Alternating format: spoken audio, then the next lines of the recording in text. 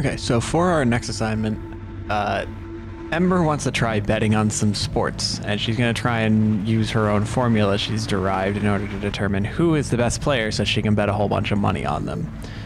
So we're going to jump into here, and in file 199, we can see the names of the files that have each of the different players. So D- Dean Dugan is in file 219, and file 199 has a list of each of these files.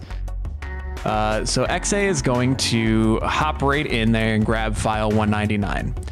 We're then going to replicate and create an agent that's going to grab each one of these files to do some calculations of uh, Ember's custom formula here. This score equals and then a whole bunch of uh, statistics. Thankfully, they're in order in the file, so you don't need to worry too much about that. I'll look into the cal. I'll show you how the calculation works, but let's first focus on what XA is doing. XA is going to count how many players there are because that does vary, and then create a new agent. And it's going to tell them, hey, you're going to grab file 219. And execution agent A is going to grab M. It's going to grab that file, and then it's going to start doing the calculation.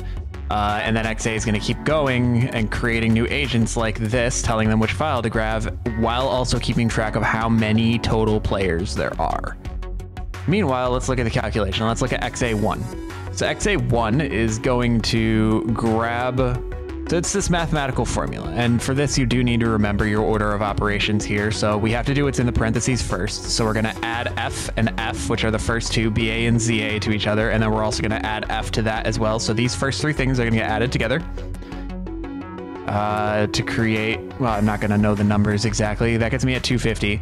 Then uh, it needs to be hmm, supposed to be divided by Oh, yeah, no, it is being divided by three. Sorry, I'm skipping. I skipped a step.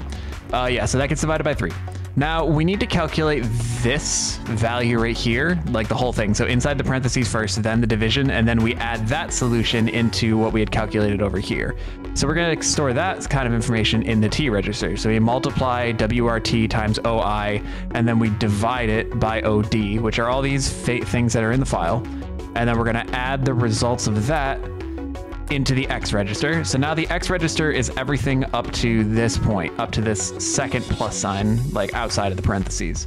So then we have to do uh, PC minus PS, that's this line here. We're gonna multiply the result by 20, and then we're going to add that result to what we currently have our running total. We now have that player's score according to Ember's formula. Now what he's going to do is he's going to go back and copy the player's name. So an X is the player's score and T is the player's name. We're now going to be waiting. We're we are waiting on a void M call, and we switched our mode, so we're in local mode. So we're waiting for somebody on local mode to send a message to us, and that somebody is going to actually be execution agent A. So once A has finished deploying the army that's going to calculate on every single player, so now we've got the army deployed. A is at the end of the file and knows it. Uh, so now he has 10 total players. He's going to create a new file, and the new file is going to keep track of our current best player. Uh, so we're going to start with 0 0 because we don't know any players' names, we don't know any players' scores.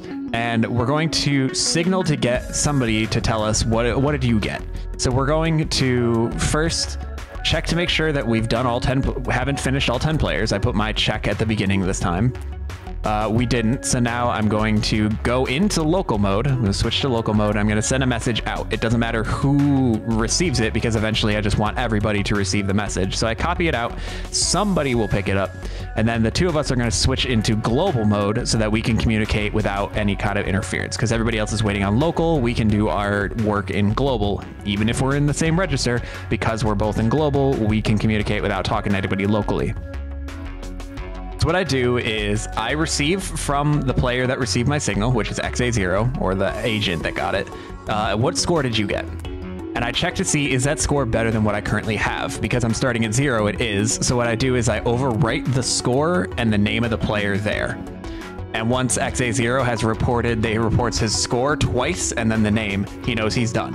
Whether or not it was better or worse, he doesn't care. He reports the score twice and the name once. Uh, and then he's done. And now execution agent A is like, okay, well now do I need to get another player? I do. Signal. Okay, give me your score. That was 345. That one's worse. So what I basically do is I just void the two coming information from XA1 that I don't care about. So I'm running void M on that twice. I've received it, I've consumed it so that XA1 knows to terminate, but I haven't overwritten anything because it's not a better stat. So now we're gonna get to the next player.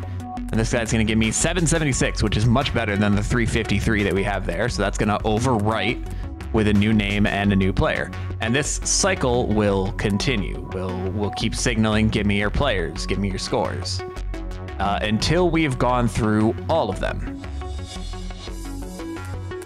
Now we are holding in our hands the theoretical best player, 776 David Dwight.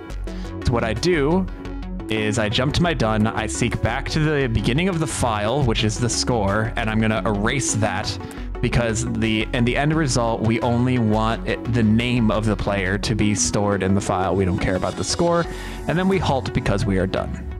And we will repeat this process each time to find our best players. And theoretically, if uh, you can calculate sports statistics and gamble on them, we'll make a whole lot of money, right? Right? Uh, but we did pretty pretty fair on our cycles there and pretty average on everything else, so I'll take it.